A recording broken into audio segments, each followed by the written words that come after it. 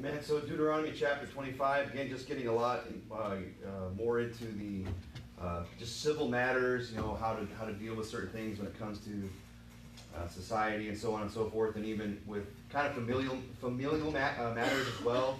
In the case of you know a brother and a sister-in-law, you know when a, when a man dies, but um, we'll just get right into it here in verse one. It says, "If there be a controversy between men and they come into unto judgment." And that the judges judge them, then they shall justify the righteous and condemn the wicked. And it shall be, if the wicked man be worthy to be beaten, that the, uh, that the judge shall cause him to lie down and to be beaten before his face according to his fault by a certain number. For uh, forty stripes may he give him and not exceed, lest he should exceed and, and beat him above the, uh, with these with many stripes. Then thy brother shall seem vile unto thee. So, you know, this is something that's certainly fallen out of style in our, uh, you know, modern judicial system, which is, you know, a public beating. Right. Basically, that's what this is talking about. You know, in God's justice system, if we recall, we're going through Deuteronomy, there's only really three fines that you find in God's law, three penalties for, for uh, breaking law. You know, death was one of them. We talked about that at length already.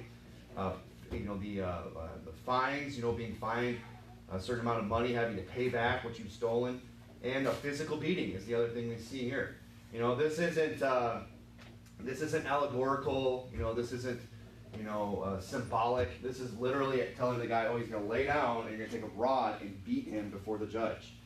Now you say, well, that's kind of you know that's kind of brutal. You know, that man, that seems pretty tough. You know, well, we as a society have gotten pretty soft towards a lot of things, and that might kind of you know take us aback. But there's a few things in here that we should keep in mind when we read this. One that the judge shall cause him to lie down and beaten before his face. Meaning the judge is going to sit there and watch the, the, the, the, punishment be carried out. You know, which, and then that's why it says, you know, he, he should only cause him to be beaten with so many stripes.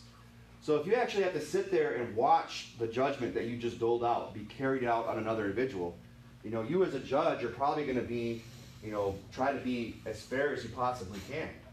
You know, he gives a specific number. He says you shouldn't beat him more than 40 times as you seem vile unto your brother. You know, if a judge got up there and said, yeah, just beat him 50 times, and everyone's going to be like, whoa, judge, you know, you got a problem, man. But so he's, he's supposed to sit there and actually watch this take place, which, quite frankly, is a lot better than what we see in our judicial system, if you ask me. I mean, a judge can just dole out a life sentence on somebody, 20 years, 15, 25 years, whatever, and then just not see that person again for the rest of his life. Yep. Meanwhile, that person has to go live in a cell with, you know, we're going to get into in a minute about what, you know, the people that are there. And the judge just goes about his merry way. You know, at the end of the day, he takes the robe off, he gets in his, you know, Mercedes or whatever, drives to his big house, and, you know, life's good. Whereas, you know, in this system, he has to sit there and actually watch what he's doling out take place.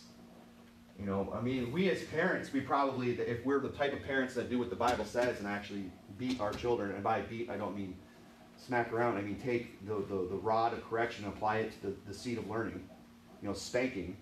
You know, we as parents that do that, you know, we're, we don't, we're not, there's, there's a limit to what we're going to do when it comes time to do that to our children. You know, every parent is, you know, some parents are even a little too hesitant. Maybe they're just, you know, they do the little, you know, don't do that again, you know, and then they wonder why their kid does it again. You know, so it's kind of the same thing. You know, we have to sit there and watch this this individual take what we're doling out. You know, that's going to cause us to be hopefully more merciful, mm-hmm. more compassionate, and try to be fair. You know, and God doesn't put a number on there. He says that He's going to beat him. Uh, you know, according to the number. You know, it's kind of up to the judge to say, oh, you did this? Well, you know, according to what the situation and everything and your attitude when you showed up here and you know, how you behaved yourself while this was all taking place, you know, you're going to get X amount of beatings. You're going to take 20, so many stripes. But uh, there, people say, well, our system's better. You know, that's why we have prisons. That's why we have a prison system, because the prisons are better than God's system. But let me just clue you in on something. Prisons do not exist because they're more humane. In fact, in my opinion, they're less humane. Yeah. Prisons don't exist because they're humane or they're better than God's system. They exist because prisons make money. Yeah, that's right. It's a multi-billion dollar industry. That's why prisons exist today. They exist to make money. In fact, I, I looked into this. We're gonna have a little, we're gonna. I don't. You're probably too far away to see most of this, but I've got some data for you tonight. You know how I love my my colorful charts, right? So there's this following the money of mass incarceration, right? At the end, you end up with 182 billion dollars that goes into the judicial system as it is today, a year, right? Uh, you know, the public corrections agencies, things like prisons, jails, parole, probation, 80, 80.7 billion dollars. That's what it costs. Public employees that have to do all the administrative work, 38.4 billion with a B. Healthcare, you got to take care of the prisoners while they're in there, 12.3 billion dollars. Construction, just building some of these facilities and maintaining them, 3.3 billion. This is a year, folks. And this should really appeal to the, you know, the, the, the right-wing so-called conservatives, right? Who all are about, you know, just phys- fiscal conservancy, and just want to cut, cut spending. You know, here's a good place to start right here. Right. You know, get back to God's word, and you can you could cut out a lot of spending. Mm-hmm. What else could you do with 182 billion dollars a year? Yeah, right. You know, give it to me, I'll show you. no, don't give it to me. But uh, interest payments, you know, you, you know what it costs you to go to jail? It's not just that you're being punished, but you actually end up having to pay to go there. Uh, food to feed everybody, 2.1 billion. Utilities, 1.7 billion. Private corrections, which is booming. Private prisons are 3.9 billion. And then the private prisons actually profit 0.37 billion, or 370 million dollars per year. So don't tell me that's not an industry. Don't tell me it's not, you know, about making money. Say, well, no, that's how much it costs us. Yeah, if it's costing you that much, I mean somebody's making that much. Right. You know, it's not, it's not just going into thin air. Right. Some, that money's going from one pocket to another. And I'm not gonna go on and on about this portion of it, but you can kind of see, you know, one, one thing uh, that's wrong with our prison system today is that it, it's there, they're there to make money. That's the point of that chart. I mean, that's the first point I'm making. They're not there, let's get it out of our minds that they're there to just reform everybody and they're there to just make better, you know, people out of the people that go there and help them get back on their feet and move on with their life. That's not why they're there. They're there to make money. That's it. and what happens is it leads to corruption. When you have that much money just flying around, you know, people, they, they get sticky fingers. And they start to come up with ways. Who remembers the Kids for Cash scandal? No one? Well, you're going to love this. No one's ever heard of the Kids for Cash scandal? I'll just read it to you. The Kids for Cash scandal centered on judicial kickbacks to two judges at the Luzerne County Court of Common Pleas in Wilkes-Barre, Pennsylvania. In 2008, judges Michael Cohen, uh, Cohen and Mark Chiaravella, if that's how you say it, were accused of accepting money in return for imp- imposing harsh adjudications on juveniles wow. to increase occupancy at for-profit detention centers. So they're getting the detention centers like kicking them back some money, be like, hey, make that a little bit harder on these kids. Send us a few more kids, keep them there longer, you know, so we can make a little bit more money off of them. They make money off of inmates, off of these kids, juveniles, I mean minors. You know, kids. That, there's kids this age in this room this evening. I mean, can you imagine that? And going and, and this judge is just getting up and just you know maybe the kid you know spray painted something or threw a rock through a window or did something stupid, and he just just drops the hammer on him because he's getting a kickback. This happened to two judges in Pennsylvania back in 2008.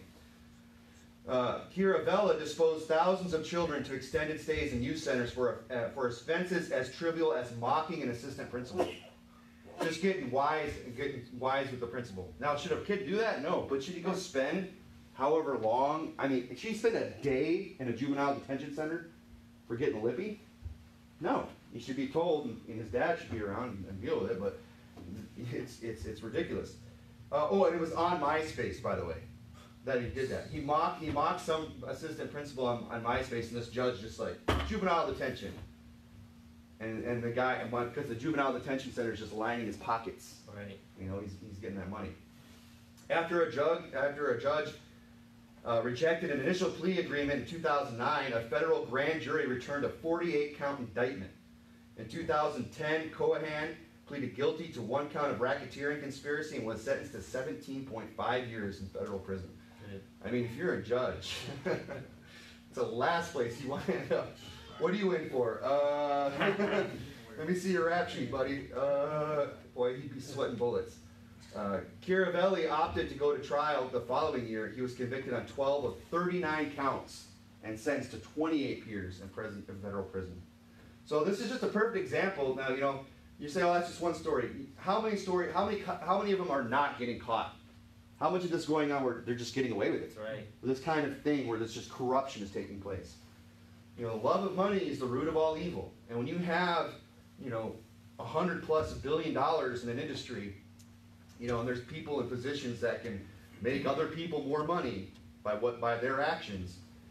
Don't think that it's really that far fetched to think that somebody might come and you know, and grease the palm a little bit as it is. So first of all, you see that prisons, you know, you say, well, the beating there, that's just so harsh. You know, well, the prison industry's got, you know, there's a lot of worse things that have happened there. And first of all, we have to understand it's not that the prison system is better, it's there to make money, which leads to corruption. Okay? And then uh, the other thing I want us to just notice tonight is that let's, let's, well, let's just look at it. Let's look at God's way. Let's compare God's way to man's way. And let's see which way is cheaper, right? That's, that's like, you know, the, that's the first thing we brought up with, right? Is, is, is God's ways cheaper? So you have, you have one, it's right now, it's estimated there's about 1.3 billion, that's not right, 1.3 million people in, in, in some kind of penitentiary right now. 1.3 million people. And, uh, and what I want to do is just focus on this one side of the chart here. And this side of the chart is just state prisons, okay? Because all this over here is pretty much just a smaller version of this. Right, they're in there for the same reasons, they're just at a different facility for different reasons. So let's just look at this chart right here. Okay, I know you can't see this, so just follow along with me. But this chart shows us that there's uh, 9,000 people are, are in prison for other. That's kind of a vague thing. What are you here for? I'm here for other. You know, so uh, right there, I don't know what they're in there for, but I bet it's not for any reason they should be there. And then uh, you've got another people that 51,000 people in jail, okay, that are there for weapons. All right, they're in there for weapons. Now, should they be there according to the Bible for weapons? No. Okay. Bible says in Luke 22, Jesus said, Then he said unto them, But now he that hath the purse, let him take it, and likewise his scrip. And he that hath no sword, let him sell his garment and buy one. You know, we have a right to bear arms. People should be able to, to you know, buy arms quite freely. You know, it shouldn't be such a regulated thing. Right. That's a whole other sermon, okay? Maybe you don't agree with that. But, if, you know, that's what they're there for, for, for guns, weapons, okay? Uh, then the other group we have in there are people, 25,000 that are in there for driving under the influence, DUI. Now, do I approve of you driving under the influence? No. I don't think you should look at alcohol, let alone drink it. That's what the Bible says. Look not upon the wine when it gives color in the cup, when it moves itself right. Okay? You shouldn't be looking at it, let alone drinking it, let alone drinking it and then getting behind a wheel. Okay? Now, here's the thing: if people drive, people are driving under the influence all the time, and, and they're and they're doing it and getting away with it all the time. They manage to get to where they're going, and everything turns out fine, right? But everyone, you know, not, that's not always the case. You know, a lot of people end up killing other people, hurting other people. So that would move the DUI people into a different category, in my opinion. You know, that that actually, if you went out and did that and, and, and hurt somebody or, or, or damage their property, you should be moved, these statistics should be moved into another category like manslaughter. Really, I would probably call it murder. You know, if you knowingly got yourself drunk and then got behind of a wheel, whether you were intending to do it or not, and then and then got a 2,000 plus pound, you know, piece of steel and then barreled it down a freeway at 80 miles an hour while you're drunk, it killed somebody. I don't know that I'm ready to call it. That's pretty much murder in my book. Yeah. You know, but they, you could call it manslaughter. At least they'll give it that. So there's 25,000 people that probably need just to be moved over. And then you've got 153,000 and another 45,000 people that are in for drugs and drug possession. Okay, now that doesn't deserve to be punished Right. by the law. You know, it, it, it's its own punishment, folks. Am I condoning that people should be, you know, taking drugs? No, of course not. But you know, if people people would just learn to quit taking drugs, you wouldn't even, you know, they, you wouldn't need a prison system. And the people aren't going into jail and getting off drugs. You know, they're getting drugs in jail. You can get drugs in prison. You can get drugs in jail. You can get, you know, they come out and they're right back on it. Um, that's a that's what's called a uh, uh, uh, what's the term I'm looking for? a victimless crime, right? Drugs. Are they harming themselves? Of course. But I'm not going to sit here and tell you what you can and can't put in your body.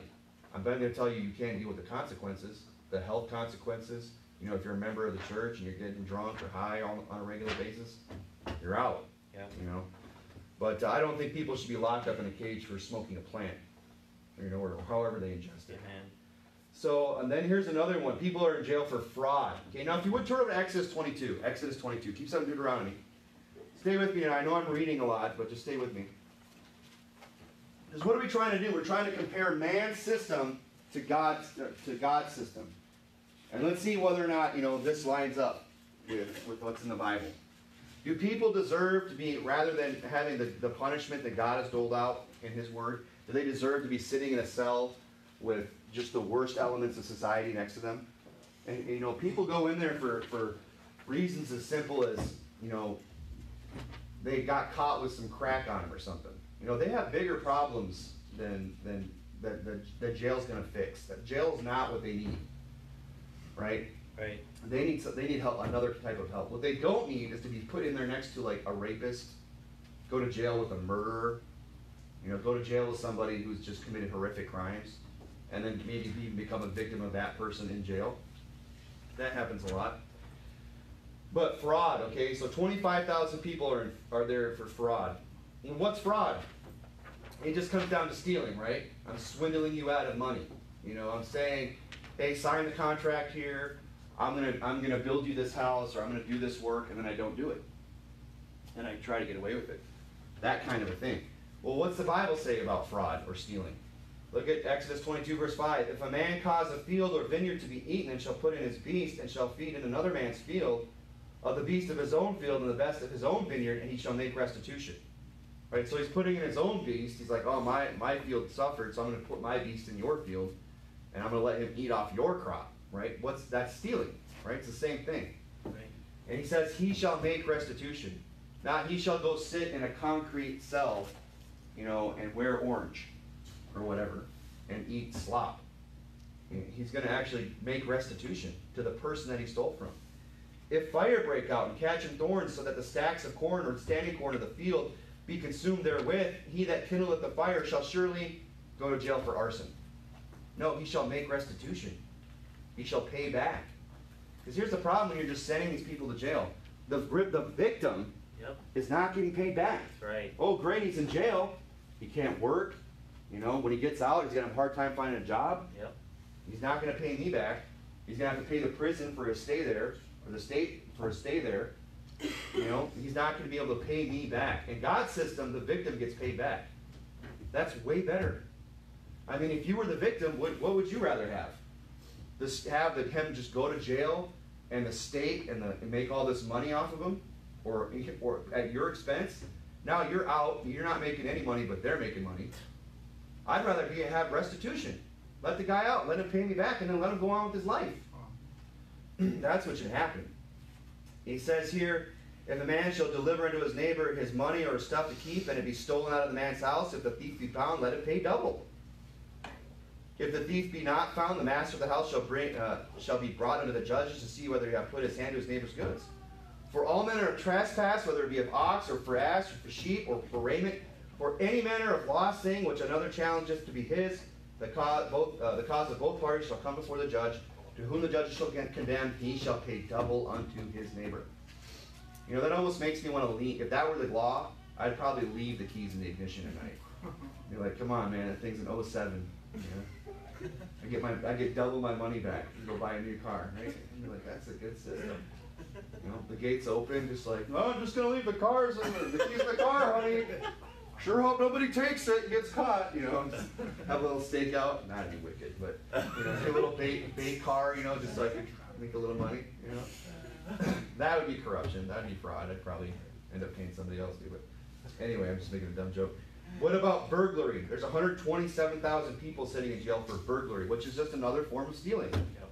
Rather than doing it, you know, by sleight of hand or you know, just being, you know, crafty and doing it wildly and, and just trying to like, you know, the old bait and switch. This is just straight up, I'm gonna break in your house and take something out of it and run. Burglary, you know, it's just a smash and grab kind of thing. Exodus 22, verse 2. If a thief be found breaking up and be smitten that he die, there shall no blood, blood be shed for him. Now, you got to keep reading, okay? Everybody in Texas. All right, stand your ground, right? Well, if I find something, this is listen. I'm not going to shoot somebody over stuff. If you're willing, I hear guys say this. I'm like, I'm not plugging anybody because they, they ran in and grabbed, you know, what do I have that's valuable? I don't I don't know. they took my car or something. You know what I mean? Yeah, my thank you. A laptop, right? They grabbed your cell phone. That's it. You know, you know, I don't care if they came in and took your entire your sound system and your, your big screen and and everything else. You know, if they just clean you just you come home one day and they've got a Ryder truck backed up and the whole house is empty. I've known people that I've, I've done lock work for people in the past that happened to them. They came home from working out of town and the place is just cleaned out. They left like the carpet, like one little square of a rug. You know, just whoop, it's gone. And you you come in, they're you know they're pulling the door down, they get in the car, they're trying to make their getaway, just you know, you know I'm gonna light them up. No way, I wouldn't do it. And that, but you say, but what does it say there? Exodus 22, if a thief be found breaking up and be smitten that he die, there shall no be, be shed, blood be shed for him. Verse 3 clarifies it. If the sun be risen upon him, there shall uh, there shall be blood uh, shed for him, uh, for he uh, excuse me, there shall be blood shed for him, for he shall make re- full restitution. Meaning this, there shall be bloodshed for him. Meaning this, if I did that, if I if I killed a thief during the day, my blood would be shed for him. Right they would kill me. They'd say you had you were unjustified. You know, and that's what you know, we, we love the fact that we can carry weapons here, you know, but we really ought to think about the fact that if you ever use your weapon, the cops aren't just gonna you're, you're not they're just not gonna oh I had to shoot him officer, why? And you give them the reason, they're like, Oh, sounds good, okay. Have a good day. No, there's gonna be an investigation, you're probably gonna get booked, you might even have to get a lawyer, it could go to court. You know, unless there's just like multiple witnesses on site, video where the cops can just say, yeah, no doubt about it, defense. They, they won't press charges. So, you know, we can't just go around just shoot people in broad daylight because they, you know, grabbed our wallet and ran, you know, or, or they were stealing from somebody else and we stopped it with a weapon, you know. And I've known guys that have done that, that have, that have drawn a gun on somebody that was just stealing something out of a liquor store or something like that. You know, they just they grabbed somebody's wallet off of a table or something. I can't remember exactly the details. But the guy chased him down and put a gun at him and told him to get in the ground. Man, I told him, man, I just let him go. Call the cops, let him deal with it. You know, I mean, when you excel, when you, you know, when you uh, escalate a situation like that by drawing a firearm, you know, they're going to take a long look at the guy drawing the firearm. So keep that in mind. I know, I know we're here in Arizona and we're all packing heat, right? But you know, we watch a little too much ASP sometimes, you know, and your active self-protection. Yeah, it's a plug for him, right? You guys are watching that, like, this isn't Brazil, you know. so, anyway, but he's saying, when shall you, when can you shoot a thief? Well, he says here, uh, you know, if, if the, uh, it's if he, get, he breaks in at night. You know, if he comes in at night, look, if somebody breaks in your house at night, how do you know they're there to steal something? Right. They could be there to do who knows what. You know, and at night, when everybody else is asleep, crying out for help might not be good enough. You know, he's not going to just run out the door and, and be seen by a bunch of witnesses. You know, yeah, he stole that. You know what I mean? And when he's coming in at night, he's trying to do something extra devious. You know, so that's a good way to get shot is breaking into somebody's house. And that would be justified at that point. You would say there's nothing wrong with that. so if the thief be found alive, uh, uh, be, uh, if, if, the theft be found certainly, uh, found, excuse me, if the theft be found in his hand alive, whether it be ox or ass, or uh, this is verse 4, he shall restore double. You know, that's the punishment in God's law for burglary, for breaking into someone's house and stealing something. Is you have, if you get found and you have it, you like, look, you're going to give it back, and then you're going to give another one. You know, so that's that's God's rule. Not go sit in a penitentiary somewhere for X amount of years. theft. 48,000 people are, are in there for theft. Uh, 9,000 are in prison today for car theft. Other property, 26,000. The Bible says in Exodus 22, verse 1 If a man steal an ox or a sheep and kill it or sell it, he shall restore, restore five oxen for an ox and four sheep for a sheep. God's law is that the victim gets paid back. Right. But man's law is so that the system can make money, Right. and make merchandise of people. Now, moving on here, we'll get into other things. There's 163,000 people in prison today for rape. Okay? So there's a lot more people in there for rape today than even, you know, drugs. There's more people in rape in there for rape today than theft.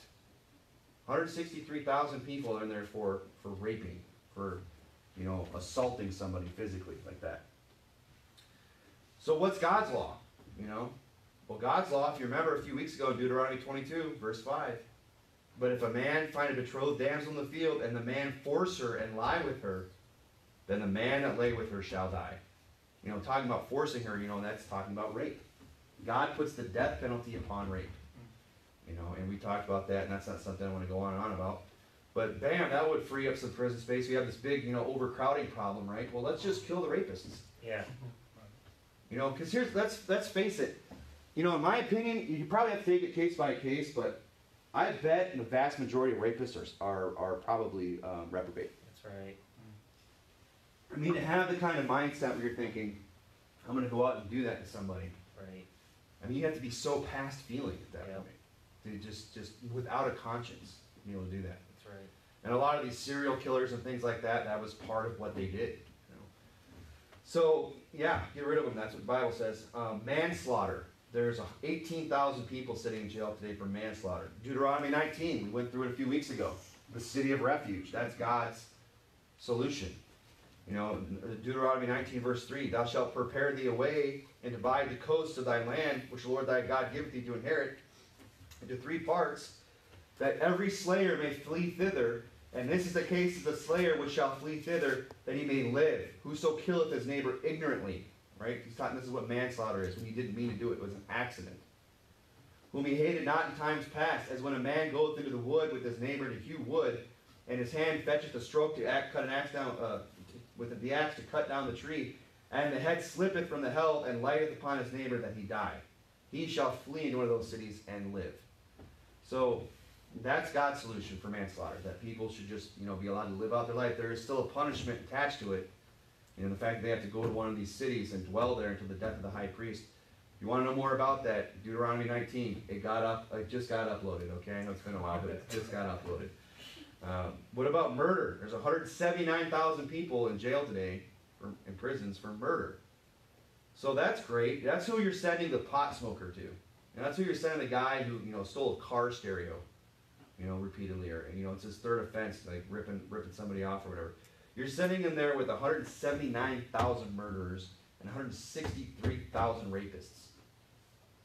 You know, what is God's solution? Genesis 9, you know, whoso sheddeth man's blood, by man's, by man shall his blood be shed, be shed. God's law is you, you kill somebody, you're gonna get killed. You know, capital punishment. So who does that leave left over for the jail system to make money off of? Nobody. Right. No one. That's every crime there is. I mean, that's every form of crime there is. You know, so this shouldn't even exist. You know what's interesting about this is there's people that are just sitting in there waiting to just to even that aren't even being that aren't even booked yet, not convicted.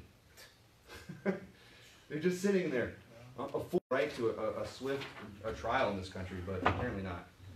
And they make money off of them too. So we see first of all that God's way, you know, is, is cheaper, right?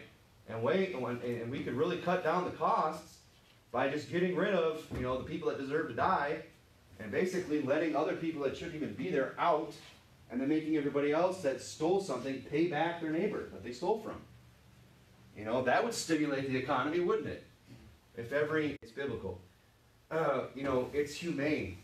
I mean, if you think it's humane to put five, you know, over a half a million people in a cell that don't deserve to be there, in a cage, basically, in a giant cage, you know, you should probably step back and reevaluate, you know, your values in life. They're, they, they should be out working, those people. The people that don't deserve either to be dead or not be there at all, you know, they should be out working, you know, rehabilitating themselves through hard work and making a living.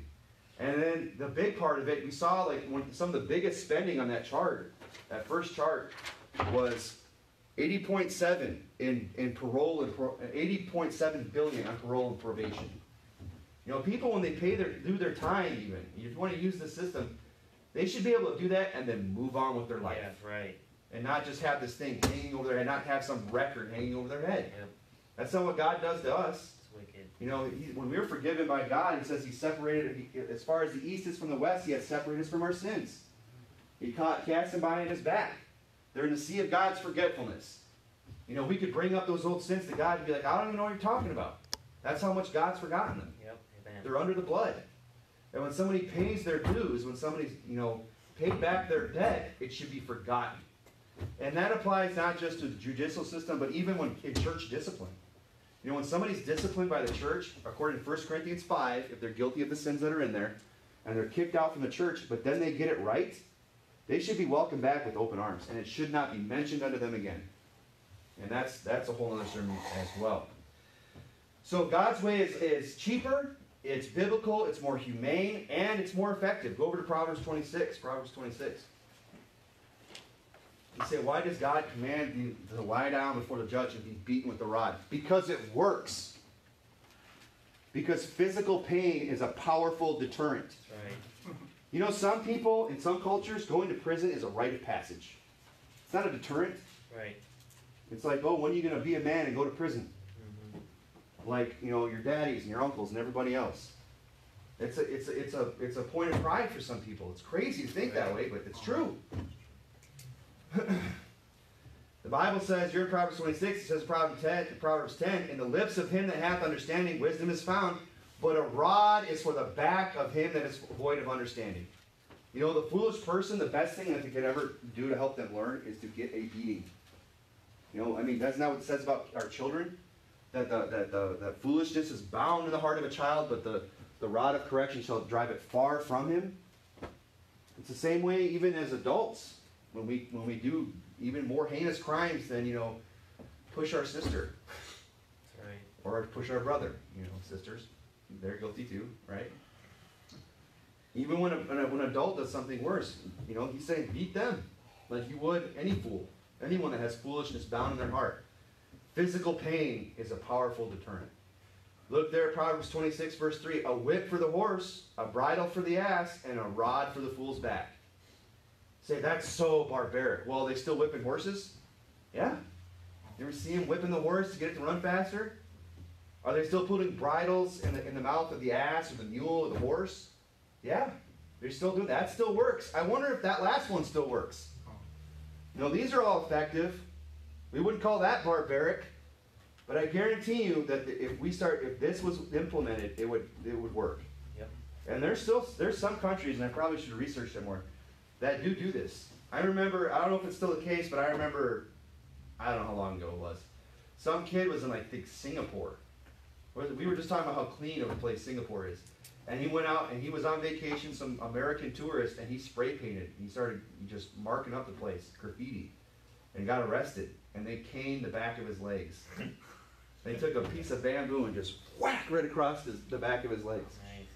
I bet you that kid, every time he saw a spray paint can, he'd, just, "Ah." he'd go to Ace Hardware and just PTSD. and everyone's all up in arms about it. And Singapore's like, we don't care. And, look Right. how, and they were like, look how clean our city is Yep. because it works. so, go over to Proverbs chapter 20, verse 30. Proverbs chapter 20, verse 30. Bible says in Proverbs 20, 19, a servant will not be corrected by words. You know, some people, just the talking to isn't going to work for them. You know, having to go in front of the judge and you're like, well, I'm going to give you 15 years and you're going to go sit and stew in the cell and you're going to have to talk to your probation officer and yada, yada, yada. And you're going to get a chewing out. Society's going to look down on you. You know, just, just this harsh talking to isn't going to work. Yep. You know, and, and, and but what, what, what, what is, what's he inferring there? That something else will work. The beating, right? Proverbs chapter 20, verse 30, the blueness of a wound cleanseth away evil. What's it talking about, the blueness of a wound? It's talking about a bruise. You know, when that guy lays down and he just gets hit with that, he's not just going to spring back up and be like, oh, go on about his business. Anyone who's ever gotten a spanking like that, you know, or, or, or, or beating like that knows when you have a, or just injured in general. You know, if you ever gotten a real bad bruise somewhere. Man, I remember once when I was doing roofing, I fell through, uh, I was walking along the sill plate, and I, my foot caught a nail, and I went through, and my feet went through the guy's drop tile. Well, I landed right here, you know, on my my my, my back parts on the guy's sill plate. It was just like. And then I got a bruise like that big, and I was sitting like this a lot, you know, driving the van or whatever, driving my car. You know, it was with me for a few days. And guess what I thought about? That stupid nail, right? That I chipped on. I thought about what happened over and over. You know, if this guy lays down and he gets a beating before the judge for something that he did, he's gonna think about it for a while.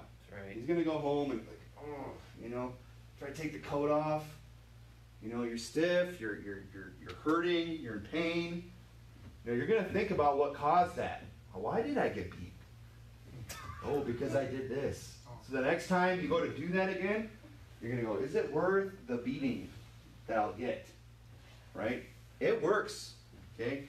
And anyone who's raising their children the way the Bible instructs us to knows that's the truth. That when you start to discipline your children by spanking, it works. I mean, people, my, you know, my wife is getting compliments out all the time with the kids. Oh, they're so well behaved. They listen to you.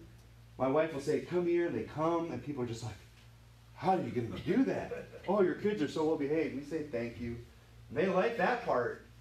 They don't see everything that goes on at home.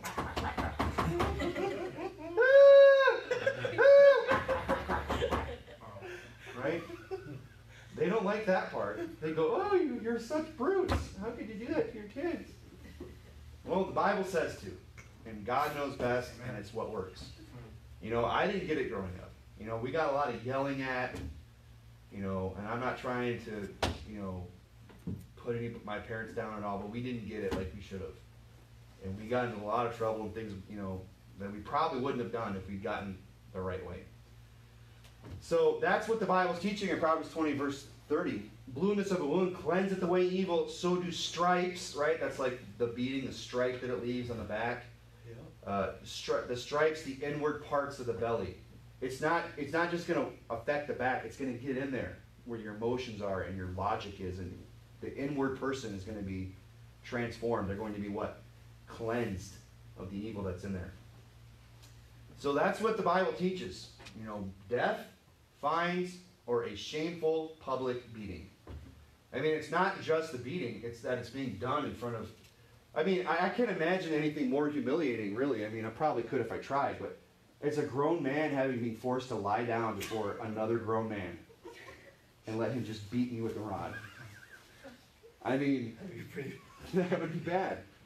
Something's gone ter- terribly wrong if I'm in that position, right?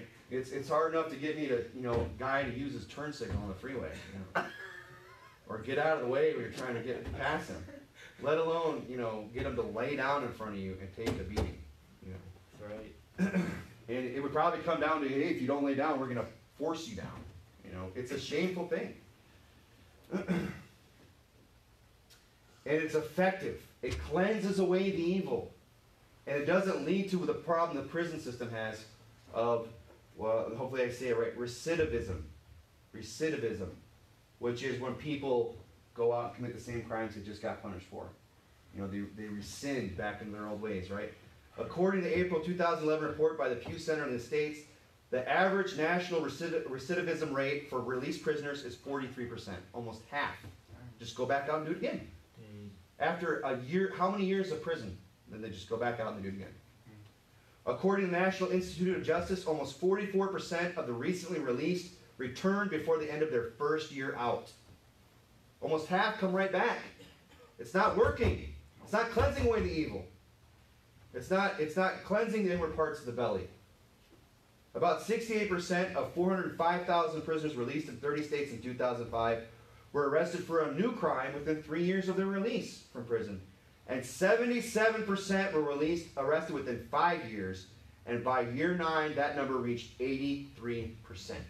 Within a decade, 83% of the people that were let out of these prisons are back. 83%. It doesn't work unless you're in it to make money. You love those numbers if you own a prison.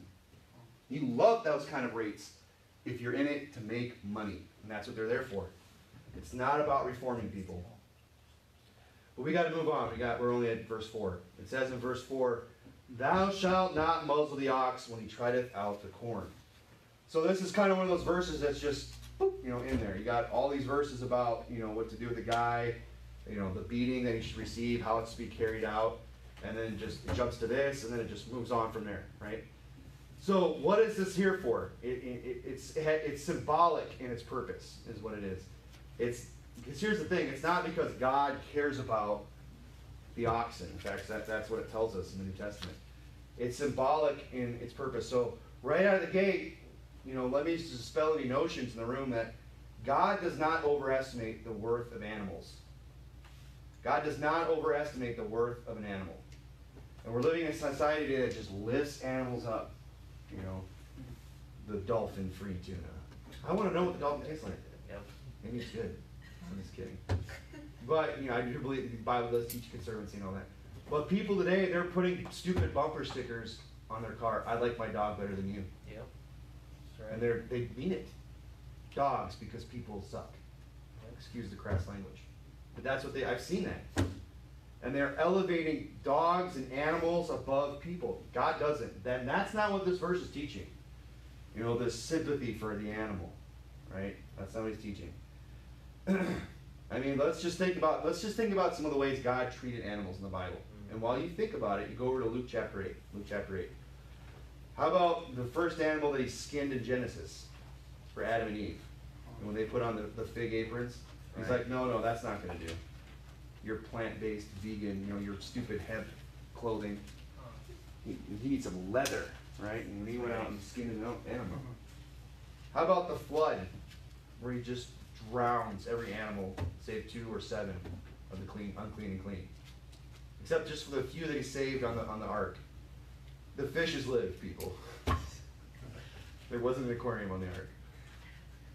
How about the Old Testament sacrifices, Yep. where God's just like bring these sacrifices continually and kill them before me and burn them. How about when Jesus, for the sake of one demoniac, sends the spirits into the swine and runs them off a cliff to drown in the sea? Mhm. Chokes them in the sea, the Bible says. Amen. Doesn't even hesitate. Doesn't even think about it. You know, the demons are like, send us into the swine. He's like, well, poor swine. You know, Miss Piggy? You know, no, I couldn't do that. Not Peppy Pig. Not him. He's like, go. And they ride violently down off the edge of the cliff and drown. So there's, you know, there's a few instances where God's just not even caring about animals. And this, you know, I was talking to somebody about this recently, but and I don't, I don't remember all the details, but I just, I just remember I expressed this at one point. I said, you know what? I look at animals, all I see are animated objects. They're, it's like a chair that has a heart in it. I'm dead serious. That's how I view animals. They're just things that God has animated. Yep. You know, like it's, it's no different than anything else in the world that's not human. It's just some, it's just an animated, animated object. It doesn't, we say, oh, but it has feelings. No, that's, you perceive that behavior as love towards you. That, you know, that same animal would love anybody that treated it the way you did. Didn't single you out, you know, give you those big eyes. It's because you're feeding it bacon or whatever. You, know? you, you go find the nastiest mutt alive, and if you start feeding it bacon every, you know, all the time, it's gonna love you too. All of a sudden, you're gonna be its best friend. So it's not like they have these certain feelings for certain people, and animals experience this range of emotions like human beings. They don't. We just interpret it that way and say, "Oh, it- loves me." A dog is man's best friend. No, it's not. There's a friend that sticketh closer than a brother, and his name is Jesus. So, you know, God, and I'm not against people having pets and love. Look, I had a pet, I had a dog that I grew up with. You know, I'm endeared to that dog. I see other dogs that remind me of it. You know, and I'm like, oh, it's, like my old dog. I get it. You know, we we uh, develop an emotional bond. The animal doesn't. Okay, it's just like, it's no different as you know if you're all of a sudden your recliner, you know, grew eyes and ears and a tail. You know, and you know what I mean. Or maybe horns, you know, and spots, and then you could skin it and eat it or something. You know? I mean, they're just animated objects. That's what I'm talking about. Where was I at? Where was I even going with that? Right, animals. God does not overvalue, overestimate the worth of animals. what, so, okay, well then what is it there for? I, I spent long enough explaining what Deuteronomy 25 verse 4 isn't about. Well, why is it there? Because it's symbolic in purpose, and it's symbolic of the fact that the laborer is worthy of his hire. He's saying, look, if the ox is busy doing work, let him eat. If he's grinding out the corn, let him have some of the corn that he's, while he's grinding out. That's what he's saying, don't muzzle the ox, the mouth of the ox, while he grindeth out the corn, saying, you know, he should just only work and not enjoy the fruits of his labor. He shouldn't be partaker of the work that he's doing. And he put that in there specifically, uh, I believe, for to refer not only to, to those that minister in the New Testament. Look there, Luke. Uh, you're going to Luke 8. I'll read you from Luke 10. Jesus said, "Into whatsoever house ye enter, first say, Peace be in this house. And if the Son of Peace be there, your peace shall rest upon it. If not, it shall turn unto you, uh, turn to you again. And in the same house remain, eating and drinking such thing as they give. For the laborer is worthy of his hire. Go not from house to house." He's saying, look, if you go to a house while you're out preaching the gospel, and, and they they receive you, you know, don't go to another house. Just stay there. Let your peace be upon it and let them take care of you as you go out and minister. Luke chapter 8, look at verse 1. And it came to pass afterward that he went, and this is Jesus, through every city and village, preaching and showing the glad tidings of the kingdom of God, and the twelve were with him. And certain women, which had been healed of evil spirits and infirmities, called uh, Mary called Magdalene, out of whom went seven devils, and Joanna, the wife of uh, Chuza, Herod's steward, and uh, Susanna, and many others, which did what? Which ministered unto him out of their substance. So he's saying, giving his list of ladies as well as others that ministered to him of their substance. Meaning they gave money, they gave food, they gave raiment, they gave a place to stay. Now, was that because Jesus was some bum? Or was it because he was working? And it says right there, he's going throughout every city and village. He's walking to all these different places. And what's he doing? He's preaching and preaching his work. Anyone that's gone out and done any soul winning knows that. That, you know, you got to muster it up the courage to go knock on the door. You know, give it a few more months. You'll see just how much work it is. When it gets, let's not even talk about how hard it's going to get. Right? So we'll enjoy what, what we have. But you know it's work. Go out there and do that. You know, getting up, writing the sermons, preaching it, delivering it. You know, that's all work. And he's saying, look, he went out and did this, and other people ministered unto him of their substance. so either Jesus here is doing work or he's in violation of Scripture. Because the Bible says in 2 Thessalonians 3 that if any would not work, neither should he eat. You know, Jesus shouldn't be taking that food there, that, that substance that they're ministering, if he's not working. He should go get a job. What it's showing us is that what he was doing was working, and he was laboring, and the laborer is worthy of his hire. And these things are, are considered labor. you know, uh, verse 4 of Deuteronomy 25 is showing us that the laborer is worthy of his hire, and that what? That minister should be paid by the local church. You know, and you say, oh, you're going to talk about money. Well, it's verse 4. What else is it about? And that's what it's about, folks. Go over to 1 Corinthians chapter 9. He quotes it in exactly that regard. And you say, well, why, you know, we don't have a problem here with this, but, you know, there are some churches like the Mormon church that doesn't pay them for the people that minister. And those guys aren't worth their salt anyway, because they're preaching damnable lies anyway. Yep. But they brag about it. Well, we don't pay our ministers. Well, that's just another unbiblical belief that you have. Mhm. That just shows, you know, that's even more evidence that you don't understand Scripture. Bingo. In 1 Corinthians chapter 9, verse 7, who goeth to warfare any time at his own charges?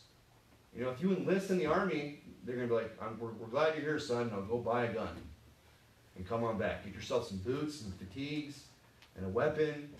You know, no. They're going to supply all of that. Who went to war for any time at his charges? Who planteth a vineyard and eateth not the fruit thereof? Who feedeth the flock and eateth not the milk of the flock? Sayeth these things as a man, or saith not the law the same also? For it is written in the law of Moses, Thou shalt not muzzle the mouth of the ox that treadeth out the corn. So why is that there? Doth God take care for oxen? No. Or saith it altogether for our sakes. For our sakes, no doubt, this is written. That he that ploweth should plow in hope, and he that thresheth in hope should be partaker of his hope. Jump down to verse 13. Do you not know they which minister about the holy things live of the holy things of the temple? So he's referring back to the Levitical priesthood. Saying, look, just like the Old Testament, the priests their job was to minister at the temple, to receive the sacrifices, to put them on the altar, to minister about the tabernacle, all the work that went into that, picking it up, putting it down, cleaning it out, all the ceremony that went on there. That was their job, full time job that they were supposed to do. And he's saying, look, they ministered there and they lived of those things that were brought to the temple. Then they that wait at the altar are partakers with the altar. Even so, meaning in the same way, the Lord hath ordained that they who which preach the gospel should live of the gospel. That's referring to, you know, the priesthood living off the tithes. And he's saying, look, in the same way today, you know, the, the, the preachers, you know, the, the pastors, the deacons, the, the, the member, the, those that are employed by the church should live of the tithes of the church. That's what that's teaching. Amen. And a lot of people want to argue with that today because here's there's there's so many you'd be very hard pressed to find a church that doesn't understand that. I mean that's clear. That's clear scripture right there, 1 Corinthians 9. And you'll be very hard pressed to find a church that doesn't believe that. Any church that's doing anything for God anyway, that actually has a full-time staff or pastor, so on and so forth, that's getting something done. You know, uh, you'll be hard to press to find that. So as a result, people who want to stay out of church, they'll just say, well, you should. They'll they'll twist that doctrine, and just say, well, tithing's Old Testament, and therefore any church that practices it is not is not right, and I'm not going to go. Hmm. You just excuse yourself from the like 99.999% of all churches that are out there, because you're so spiritual. If you figured out something that the vast majority of Christianity hasn't. Everybody else has got it wrong, but you've got it right on the subject so that you can just sit at a church and feel spiritual about it. That's what's going on about that. You say, oh, you're just preaching that because you're the deacon and you're on staff. Look, I made my mind up about this before I even knew who Pastor Anderson was. Amen. I made my mind up about tithing, and I started doing. That was one of the first things I did when I when I got saved. When someone showed me that, explained it, I heard it preached. I didn't say, "Well, I'll just wait till I'm on staff to agree with that." so that's not the motive at all. But you know, that's what first. That's what verse four is about. I don't want to spend the rest of the night on that. So let's move on. Look at verse five. There's a lot here. We got to get through it. He says, "If brethren dwell together, and one of them die and have no child, the wife of the dead shall not marry without unto a stranger." her husband's brother shall go in unto her and take her to him, uh, him to, to wife, and perform the duty of an husband's brother unto her. And it shall be that the firstborn which, uh, which she beareth shall succeed in the name of his brother which is dead, and that his name be not put out of Israel. And if the man like not to take his brother's wife, then let it, and then let his brother's wife go to the gate of the elders, unto the elders, and say, My husband's brother refuseth to raise up unto his brother a name in Israel, uh, he will not perform the duty of my, uh, of my husband's brother. Then the elders of the city shall call him, and his brother's wife shall come into the presence of the elders, and loose uh, and loose his shoe from off his foot, and spit in his face. So she, if he did not live up to this, she's literally she's to take off his shoe and then spit in his face, and that's one of the just most insulting, just just degrading things you can do to somebody is to spit in their face. And God's saying, do it saying it's a, so he's saying, look, it's a shameful thing if a man will not perform the duty of a husband for in his brother's stead unto his wife and raise up seed after him. and he says, uh, and his name shall be called in Israel, so he's going to have a name, right? Then They're going to nickname him too. The house of him that has his, hath his shoe loosed. And that's a mouthful. you know, there goes him that hath the house of him that hath his shoe loosed. You know, but why, what was the purpose of that? So that guy would have to have that shame upon him. Yep. Everyone would know that's the guy that, that wouldn't, you know, was so cold hearted towards his own brother that he would not perform this duty. and he says, uh, when, uh, and then he goes on in verse 11 when men strive together one with another, and the wife of the one put, uh, draweth near to deliver her husband out of the hand of him that smiteth him. So if the husband's losing, and the wife's like, well, I'm not going to let my man just get beat here. So she goes in there to try and stick up for her man. And it says, uh, and, and, draw to deliver him out of and him that smiteth, and putteth forth her hand and taketh him by the secrets. Now the secrets, that's the part of a man's body that only a man has. Okay? Enough said. And he taketh them by the secrets, then thou shalt cut off her hand, and thine eye shall not pity her. So I believe this bunch of verses are kind of all pointing towards one thing. And that's the importance of a man having a heritage. You know, if the secrets are damaged, you know, that's there goes your family life, as the saying goes, right? That's what God is saying here. Look, I believe He's putting a premium on this. He's putting uh, the importance on the fact that a man should have heritage, that a man should raise up children after him, and that it's, it's a it's not a good thing if I should have had you stay in Proverbs, but go back to Proverbs 22. If if your name is just forgotten from the earth. He's saying in Proverbs, go to Proverbs 22, verse 1, a good name is rather to be chosen than great riches. Go to Proverbs 17, I just read it. Proverbs 17. You know, it's good to have a good name. You know, and if you don't raise up godly children after you, you know, your name kind of goes away. It disappears. I mean, yeah, it, it's the world's never going to recognize any of us. We're never going to go down. You know, I don't expect that. You know, they're going to ask us to come put our hands in the, in the, the Walk of Fame in Hollywood. You know, no one's going to be carving my image next to George Washington on Mount Rushmore, right? Or any of us, and I wouldn't want any of that anyway. But you know what? My name will be remembered, and that little blonde-haired, blue-eyed kid that sits up here, who has the same name as me, Corbin John Ressl III, right? And it's not because we're, you know, English monarchs or something. You know, it's because he's the third one in a row, right? so that's kind of the purpose behind that, you know, and that I did that. You know, my dad asked me to do that. You know, I was named after him. He said, "You need to name your son after me."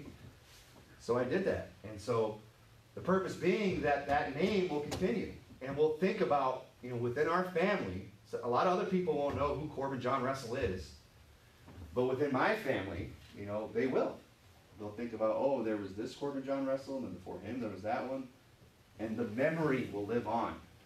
So what, that's what he's showing. I believe that's what he's showing us here. You know, in saying that a brother should raise up seed unto his unto the deceased, his dead brother, by taking his brother's wife to him, and not leaving her desolate in the process, but taking her unto him and raising up a seed, and the firstborn being named after him and not himself.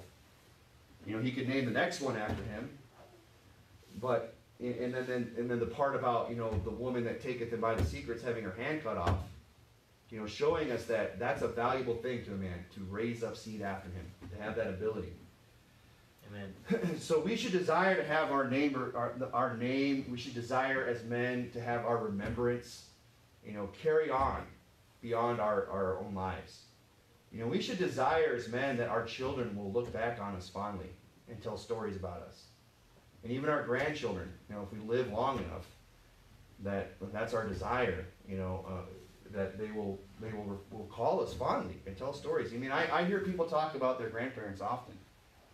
Well, not often, but you know, I do hear that from time to time. People talk, telling stories about how their grandpa was this guy or that guy. I mean, Pastor Anderson's a great example. Just last night in his sermon, you know, he's talking about how how his his great his grandfather was known as this great soul winner that was known for winning hard cases Amen. to the Lord. I mean, that's a good. That's something I want for myself one day. And I want my, my grandchildren to look back and say, oh, my, you know, my great, great my grandpa Corbin, you know, he, he was a, a deacon at a Baptist church, and, you know, he, he, uh, he, he led a church that knocked every door in the city of Tucson. Amen. That's a great heritage right there. That's something that I, I'd look down in heaven and be like, yeah, I did do this. Amen. You know, and you all would be able to say, yeah, we helped him do it. Amen. Right? And your kids would say that about you. Yeah, he was a faithful member in a church, and he won souls to the Lord and right. did a great work for God. And he taught me this about the Bible. He taught me this about the Bible. And he, and he showed me the way how to live for God. That's a goodly heritage. That's what we should want. You know, it's important that men have that. You know, it's sad when a man dies and he doesn't have any heritage. It's unfortunate. And you think about Absalom, right? I mean, he was a wicked enough guy to begin with. But one of the worst things about his life is the fact that it, when it says in, in, in 18, uh, 2 Samuel 18, when he died, and now Absalom in his lifetime had taken and reared up for himself, he did it for himself, a pillar. Nobody else put it up in his honor, he did it. And he reared up a pillar which is in the king's dale, for he said, I have no son to keep my name in remembrance. And he called the pillar after his own name. So he has no son to keep his name in remembrance. So he sets up this pillar and calls it after his own name so that somebody would remember something about him. And it is called unto Absalom, uh, this day Absalom's place. But you want, I wonder how many people took note of that pillar and for how long. I mean, they probably, I mean, if it weren't in Bible, the Bible, we would never even know about it. Right. I mean, how long do you think it took? How many generations had to go by to someone? What was that pillar about again? I, I can't remember. I don't remember. I don't know. It was something about some guy. Some and what was his name? Abra, Abra, Abracadabra. I can't remember. Right? It's forgotten. Right. That's a sad. I mean, he was a bad enough guy to begin with, but what a sad ending to his life too. you know, the Bible says in Proverbs 17, where you are, look at verse 6. Children's children are the crown of old men, and the glory of, chil- of the children are their fathers. It says that having grandchildren, that's a crown unto an old man. I mean, that's an accomplishment, it's saying. If you raise up uh, uh, children, and then those children go out, and they have children, you know, and that's, that's a crown upon an old man's head. I mean, I'm gonna take my time getting there, I'm in no rush. You know, but I look, I pray that one day I experience that. That before I pass off this earth and go to be with the Lord, that I get to see my grandchildren. I think that'd be amazing. I mean, it'll probably bring a tear in my eye to, to see that first grandbaby be born. That's, that's something special. So that's what I believe, you know, Deuteronomy 5 through 12 is kind of showing us there. You know, why is God putting these laws in place? Because it's important for a man to have a heritage. It's important for a man to be remembered. We say, well, why does it? We're going to heaven. We're going to live forever. You know, well, it's because of the fact that those that are going to come after you need to follow in your example. You know, you should want to set that example for them. you know, we sh- so the best way to have an heritage that's going to remember you and think upon you fondly, you know, is to lead them by example. You know, set the example for them, and then they will follow in your footsteps. Mm-hmm. You know, and they'll think back on you and say, wow, you know, my, my, my, my grandpa did this, my dad did this, he's the one that taught me this, he's the one that showed me how to do win souls, and he took me on this soul winning trip and that soul winning trip, and you know, he took me out soul winning every week and showed me how to win souls to Christ, and I saw him, you know, with just all kinds of different people, and and and just set that good example. The best way to make sure that your name is remembered and thought on is to, to lead by example and to serve the Lord.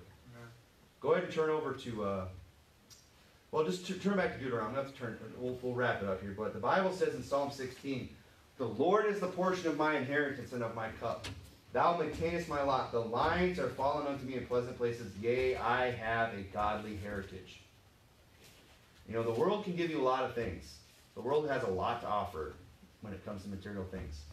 They can give you money, they can give you possessions, they can give you fame, they can give you pleasure, they can give you all these things, but they can't give you a good heritage.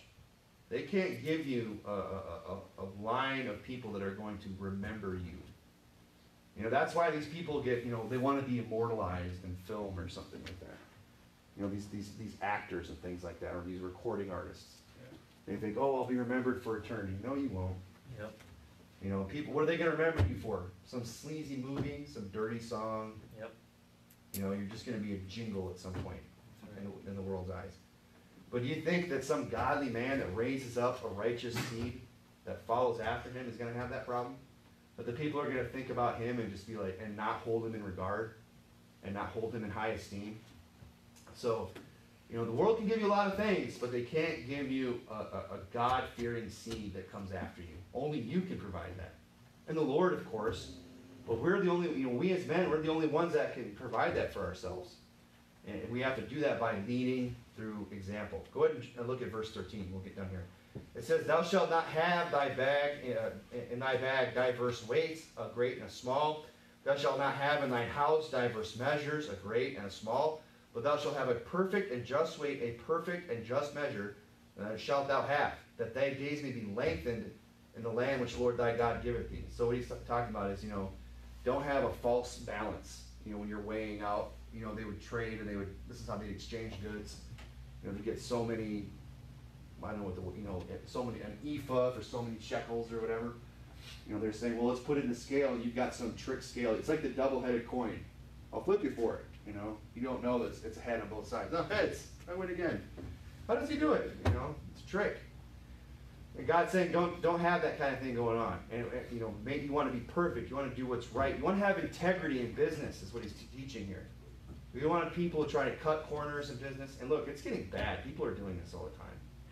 People are trying to, you know, skim, skim people out of money, scam them out of money, you know, uh, get cheaper product, charge them more than they should. You know, eh, eh, you know, get down to the end, it's like, oh, it's time to fill out the invoice. Let me just tack on a few extra hours that didn't actually work. That's a false balance. You know, we don't have literal scales today, but we have things that are equivalent to it. You know, and, and people should be should be have integrity in their business dealings. You know, and you think, well, I just need to make a little extra money. What's it going to hurt? You know, they'd be willing to pay it anyway. What does it matter? Well, it's because God sees it. You know, God says that He doesn't want that. And if you'll do it right, He says that thy days will be lengthened in the land which Lord thy God giveth thee. You know, God's going to bless the guy. He looks down. He says he's, his business dealings are right. He has integrity. God's going to bless that guy. Maybe you're not going to make all that money in that job that you could have by kind of you know fudging things a little bit. But when you have integrity, God's just going to make sure that there's a there is a next job, and maybe that job's going to even be even better. You know, and maybe the margins will be better on the next job. Maybe God will bless you with that. I mean, how long is it going to take to put yourself out of business if word gets around, hey, this guy's a crook? You know, people that you know people will try to make all their money at once by taking somebody's head off when when, it, when the bill comes due. And they're like, well, I'm never going to deal with that guy again. Hmm. You know, you want the return customer. But notice again in this verse what's interesting. He says in verse 16, For all that do such things and all that do unrighteously are an abomination unto the Lord thy God. He didn't say they commit abomination, he said they are. So whenever you see God, you know, the Bible pointing out the fact that it's not just the sin that's abomination, but the sinner that's an abomination. We should probably take careful note to never be guilty of this. When God says all that do such things are an abomination, it's not just the act that God is disgusted by, it's the person that he's calling an abomination. Do you see that there? He say those that do it are an abomination. Look at verse 17. Remember what Amalek did unto thee by the way when you are come forth out of Egypt, how he met thee by the way and smote the hindmost of thee, even all that were feeble behind thee, when thou was faint and weary, and you feared not God. So this guy's wicked. You know, he's coming on, he's picking on the weak, he's picking on the, the feeble, and he's and why? Because he has no fear. Therefore it shall be when the Lord thy God hath given thee rest from all thy enemies round about, in the land which the Lord thy God giveth thee for an inheritance to possess it, that thou shalt blot out the remembrance of Amalek from under heaven, thou shalt not forget it. He's saying you're not going to say, oh well, you know, I understand, you Amalekites, that was another generation. He's saying, no, there's you know, there's a punishment for what you did and it, it, doesn't matter when it comes, you know. And that's something you know America should probably take heed to. In fact, it's probably too late. We've been going around picking on the weak mm-hmm. and picking on those that are faint and weary for a long time. You know, just bombing people from afar. You know, just taking advantage of people that are or can't defend themselves against our military superiority. You know, that's been going on since the foundation of this country. Even I mean, there's a, just a history of that of just bloody oppression on, on, on the part of our country. And you know what? Uh, God's not going to forget it. God's not going to say, oh, it was those people long ago. Or, well, you know, the Iraq war and all that, you know, you know, the bombings over there that you guys did, you know, building your empire, and that was another generation. God's going to remember it. Okay? God brings it back. He avenges the weak. God doesn't just let the innocent, you know, I don't want to say necessarily innocent, but just weak, defenseless people be oppressed and just go, well, that's too bad. God keeps track of it. And God keeps tally. And God repays. He says, Vengeance is mine, saith the Lord. So we should be afraid to afflict those that God will defend. You know, be afraid to afflict somebody. You know, here's the here's the bottom line. Don't be a bully. You know, it, just because you're, you know, tougher, bigger, and badder, it doesn't give you the right to just go around pick on weak people. And we should we should not do that because who's going to ultimately stick up for people like that? God. And how's He going to do it? By putting us down, by by oppressing them. For the oppression of the poor, for the sighing of the needy, now will I arise, saith the Lord. I will set him in safety from him that puffeth at him. You know, God's going to protect them the wicked have it coming. You know, sometimes we feel like that. We feel like, well, we're the ones that are getting picked on. You know, we're the weak, we're the oppressed, we're the poor, we're the ones that can't defend our. The wicked prosper. You know, the wicked are their their eyes stand out with fatness. You know, they have no want of anything. And it just seems like that every their life just goes so well. We're the you know we're trying to live a godly life, and we're the ones that are struggling. We're the ones that can't get by. We're the ones that are having to deal with, you know, the you know the government trying to come down. We don't have it that bad yet, but it's coming. You know, we we start to worry and fret. But the Bible says in Psalms 37, "Rest in the Lord, and wait patiently for Him. fret not thyself of him who oppresseth in his way, because of the man who bringeth wicked devices to pass." Cease from anger, forsake wrath, fret not thyself anywise to do evil. You know, you know, don't repay evil with evil. Why? For evildoers shall be cut off. But those that wait upon the Lord, they shall inherit the earth. You know, these wicked men that are oppressing and ruling and, and, and waging war and, and, and hate God and hate God's people and promoting wickedness and filth that are just prospering, they're going to be cut off one day. And who's going to inherit the earth that they covet? The meek. The meek shall inherit the earth. Verse 10 For yet a little while, God calls it a little while. You know, we look at human history and all the, just how it just seems like every, it's just a long line of like oppress, oppressive dictatorship after oppressive dictatorship, just genocide after genocide, just innocent blood upon innocent blood. Just throughout all of human history, God says, For yet a little while. For yet a little while, and the wicked shall not be. He's saying, look, it's not going to be long. You won't even know, those people won't even exist. They'll be gone. Yea, thou shalt diligently consider his place, it shall not be. But the meek shall inherit delight, and inherit the earth, and shall delight themselves in the abundance of peace. So it's kind of, you know, a reminder there at the end about the fact that God, you know, he sticks up for the downtrodden, that God, you know, remembers the oppression of those that cannot defend themselves. You know, and we can take hope in that as well. You know, we can be warned by that, and we can also be comforted by that fact that God uh, protects the weak. So, you know, rather than just getting caught up in trying to cast our lot with the wicked, you know, who are doomed, you know, who in a little while they won't even be, won't even see their place. You know, let's set the example. Let's be as shining lights in a crooked and perverse nation, as the Bible says. And we'll wait for the day when true justice will be delivered when you know these these oppressive systems like prisons that man has set up will no more be. You know, in the meantime, let's just live a godly life. Let's not fret ourselves in any wise to do evil, but let's just focus on setting a good example for those that are going to come after us, so we can have that goodly, goodly heritage. Let's go ahead and pray.